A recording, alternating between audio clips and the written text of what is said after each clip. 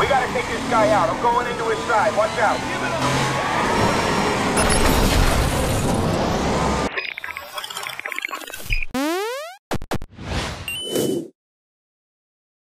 Very happy to be joined by Dominic Guay, the senior producer on probably one of the most anticipated next gen, even though it is also going to be current gen games of the year, and that is Watch Dogs. Thank you so much for your time. Um, we, we saw a very impressive demo today. Uh, it's, there's nothing in the story. It really kind of demonstrated how dynamic the world is and how you can interact with it. Um, I think it's safe to say that's very ambitious. I, I mean, in, in terms of just building a world and a system where you can have that many ways of interacting with it and it all kind of holds together. I mean, how did you know that you could accomplish something like that? Well, I mean, we hoped we could. and like I said, we, we knew we had a lot of tech to build to support that. Uh, we knew we had to to support a lot of dynamic events in our game world because we don't know what the player will do. We want him to be in the driver's seat and we don't want to force too much the objectives on him. We want him to give him the freedom in an open world to decide how he wants to play. So there was a risk, but now I'm happy to say we pulled it off. So if, if, if you wouldn't mind sort of detailing, sort of in one given circumstance, what we saw today, you um, you're, you're, sort of breaking into a communications tower yeah. to then give access to all the internet and communication devices in the area.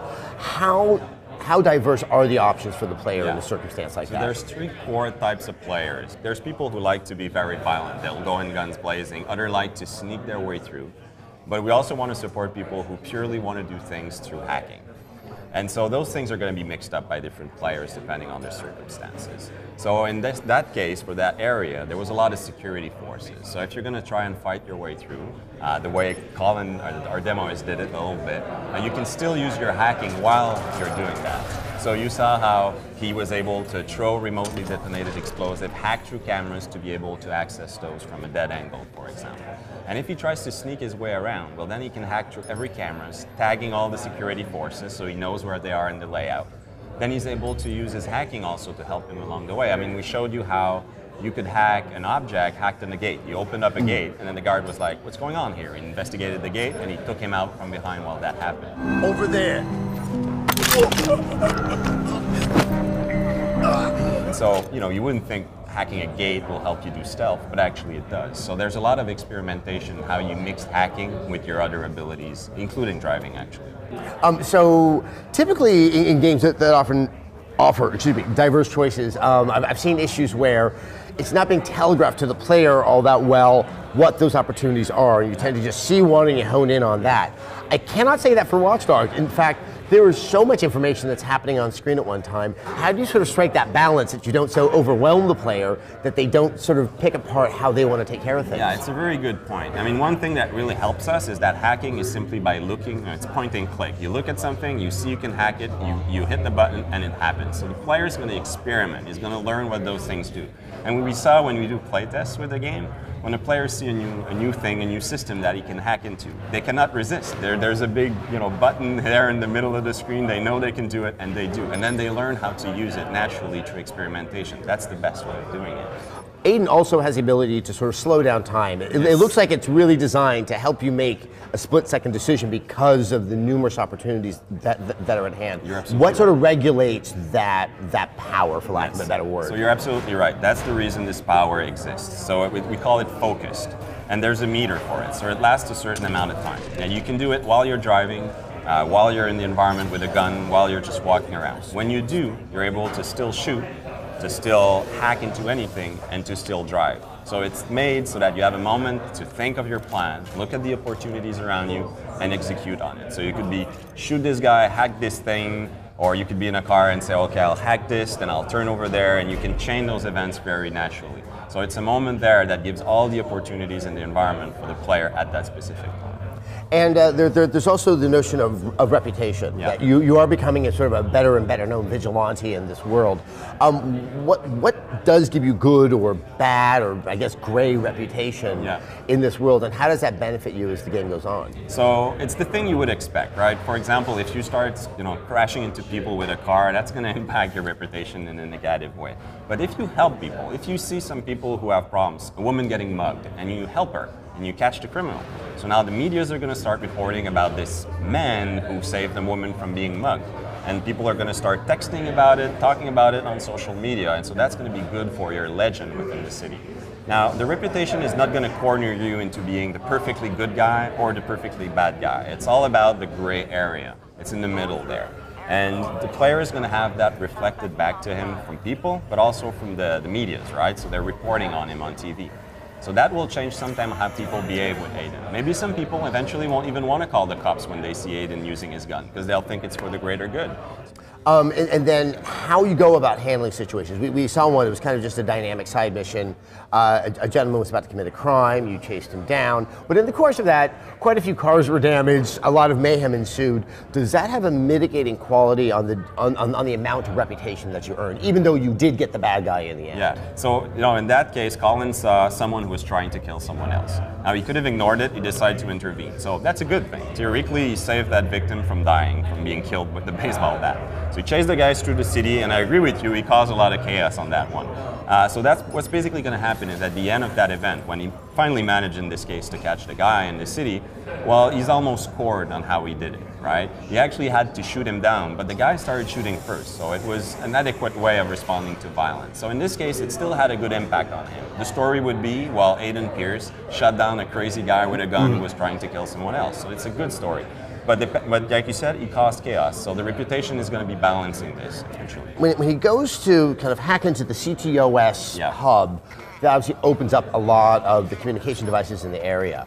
Um, sort of thematically, you can contrast that with what you see in both the Assassin's Creed and the Far Cry games, all made under that massive house up there in, in Ubisoft Montreal. Um, I, I, definitely saw those similarities. Yes. How much of those kind of models of the other games are incorporated into Watch Dogs? We're definitely learning from each other's good good things and mistakes. And one of the things that we, we thought was really great in Far Cry 3 was how when we came back at the office the day after we played, we had stories to tell that were home. We weren't saying, yeah, I played mission four, this is what happened. We said, I was attacking a camp I wanted to attack, and a tiger jumped on me. And that was my story, that was my moment. And we thought this is very rich. This is already something we're doing but we definitely learned from some of the good ideas they had in that game. So I think eventually it's a good thing that we're able to share our good ideas between the project and Ubisoft. I mean, is, is, is there any concern that there might granted, we saw just how dynamic the game is, which makes it quite distinct, but that there is sort of a, a, a sameness. Are you, are, are, you cognizant to sort of make sure that there is a clear, unique identity to Watch Yeah, and I'm not really worried of that happening. I mean, we've been working on it for four and a half years with a very strong desire to create something new and fresh and relevant. And just the, the context is vastly different. The core teams are vastly different. But I think it's natural to get to learn from what are the best games out there. If you look at how Far Cry managed its open world, it was really good. It managed to give me the real sense of being free within an open world. So we learned a little bit from that for sure. Um, now, the the dream, I mean, you are describing, I think, what so many people have wanted to see in the game, which is you really have so many ways that you can interact with the environment around you, and you're seeing response coming back. Um, so much of that, though, is predicated on artificial intelligence. Yes. And obviously, sort of the generation of consoles and PCs that we have, there's some strong AI, but you start to see those patterns. I mean, how, it sounds like the, the, the crux of what's going to be accomplished on Watch Dogs may really live or die on really believable and independent thought coming from the characters. I mean, is that something you guys can accomplish? Yeah, and that's something that we were very aware of from the beginning. I mean, take just a car chase. I mean, you can script a car chase. If you die, you'd restart it. It's always the same. But if you have the ability to hack into blockers that block a street, then you can't script a car chase because what will the AI do? It will try to avoid this, it will take another route, so even just how a, a, car chase happens required us to build a new kind of AI that was aware of all the things that could go wrong, that could steer its way around the city, and that could, you know, react to all the hacks that Aiden is able to do, or all the various tools that he has. And that's true for almost all of the core gameplays that we have in Watch Dogs. So that's why the game took, took four and a half years to build. We knew, we kind of knew from the beginning we had to build from scratch new ways in, in AI and in physics and many other areas to support our gameplay. Now it feels wrong I know this isn't your home, but it can be. Um, so, so, so, one final question. Uh, we, we, were watching it. Obviously, it's about sort of a lone vigilante in an urban center. Yeah. You did mention that he has the ability to have IEDs. It's in Chicago. Obviously, you had no idea what the world would be no, like four and a half years later. Yeah. Uh, there's obviously horrible handgun violence that's happening in Chicago.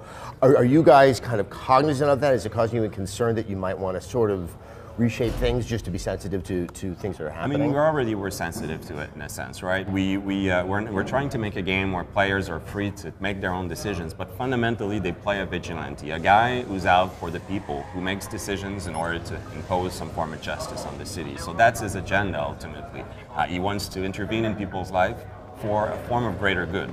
So this morality is going to be defined by the player, but it's still, you know, in an area that we think is a, is a variable path for players. Well, awesome. Um, obviously, everything I saw today is maybe all the more intrigued about the game. Uh, when is it coming out? Uh, it's coming out November 19th uh, in worldwide, and uh, and it's going to be coming out on PlayStation 4 as soon as it ships for launch. All right, well, awesome. Thank you so much for your time, Nice talking to you.